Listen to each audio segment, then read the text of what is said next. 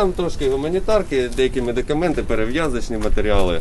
Артур у 15-му році захищав кордони нашої країни від російської навали на Донеччині. Після служби пішов вчитись в університет на медика, але тепер довелося перервати навчання і повернутися на фронт. З перших днів, коли знав про повномасштабне вторгнення Росії на територію України, пішов до воєнкомату.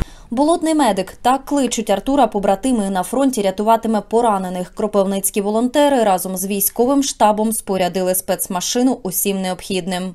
Трохи працював в реанімації, має е, певний досвід надання допомоги. Ну також є досвід надання допомоги на передовій ще з 15-го року. Доводиться працювати і терапевтами, і хірургами, і анестезіологами. Після війни Артур планує закінчити навчання і одружитися. Активного пошуку, дай Бог повернуся живим. Думаю, познайомився якоюсь гарною дівчиною. Юлія Бабак, телевізійні новини СІБІН.